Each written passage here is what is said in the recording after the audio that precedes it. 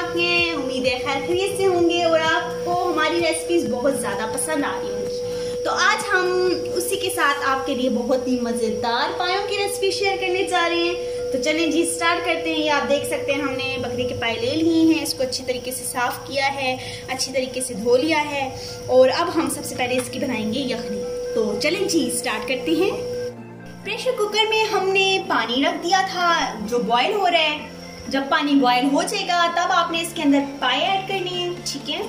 और आप इसको पतीले में भी उबाल सकते हैं ओवर नाइट रख सकते हैं, या अगर आपने जल्दी पकाना है तो पाँच से छः घंटे रख सकते हैं, बहुत मज़े की अपनी तैयार होगी। लेकिन हम प्रेशर कुकर में बना रहे हैं तो एक से डेढ़ घंटा आपने इसको गलने के लिए छोड़ना है। हमने पाए डाल दिए हैं, अब इस, इसके अंदर हम डालेंगे जी लहसुन। नौ से दस जवे आपने लहसुन की इसके अंदर ऐड करनी है और एक चम्मच हम डाल देंगे इसके अंदर नमक और इसको फुल आँच पे करके प्रेशर कुकर कर देंगे बंद। तो चलें जी, अब हम जा रहे हैं जी मसाले की तरफ़। तो मसाले के लिए आपने सबसे पहले क्या ले लेना है? ऑयल एक कप ऑयल ले लिया है। दो दरमियाने प्याज जिसको हमने बारीक काट लिया है। तीन टमाटर जिसका पेस्ट बना लिया है।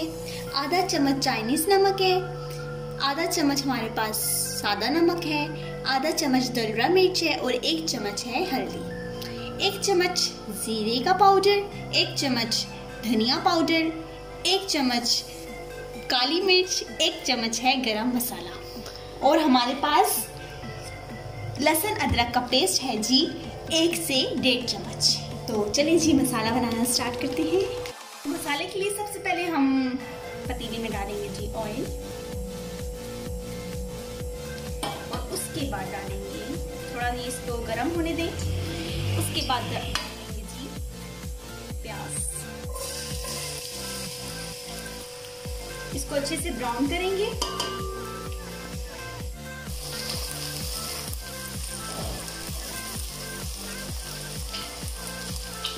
तो ये देखिए, प्याज हमारे बहुत अच्छे से ब्राउन हो चुके हैं। अब हम इसके अंदर डालेंगे जी थोड़ा सा पानी।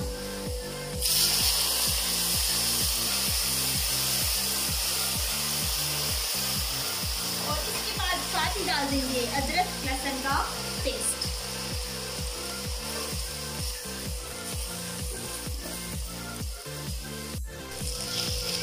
अदरक लहसुन को हमने भुनना है जी तीन मिनट, ठीक है? उसके बाद आप डाल लेंगे जी इसके अंदर।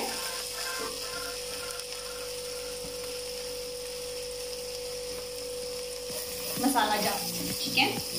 इसको अच्छे से मिक्स करें और उसके बाद आपने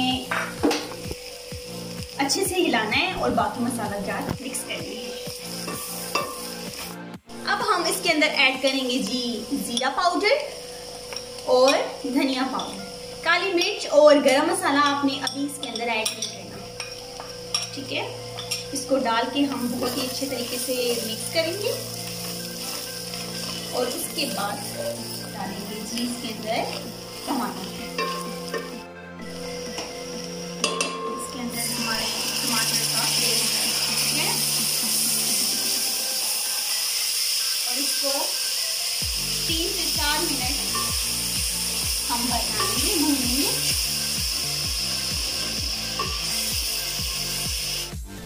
तो ये देखें अब हम इसके अंदर थोड़ा सा पानी डालेंगे ताकि ये टमाटर जो हैं अच्छी तरीके से गल जाए और इसको हम ढक देंगे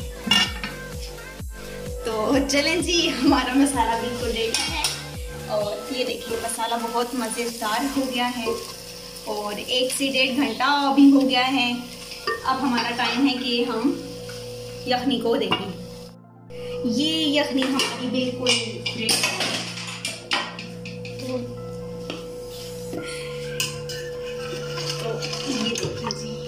पाए हमारे पास गल चुकी हैं। आप देख सकते हैं बिल्कुल सॉफ्ट हो गए हैं।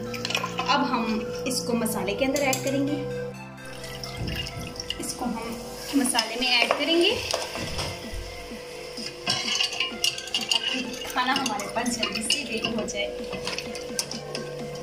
तो आप देख सकते हैं, ये देखें, पाए हमारे पास बहुत अच्छे तरीके से कर चुके हैं। अब हम इसके अंदर गरम मसाला और काली मिर्च ऐड कर देंगे।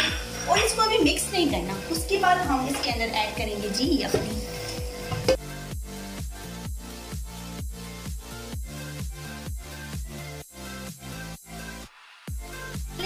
अब हम इसका वेट करेंगे ये, कि ये बॉईल हो जाए और उसके बाद हम इसको आधा घंटा दम पे रखेंगे।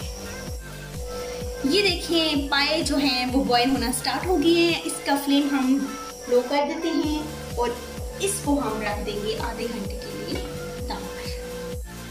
ये देखें हमारे पास पाए बिल्कुल रेडी हैं और अब हम इसको एक बाउल में निकाल लेते हैं। ये देखें जी, मज़ेदार पाए हमारे पास बिल्कुल रेडी हैं। इसके ऊपर हम थोड़ा सा धनिया डालेंगे।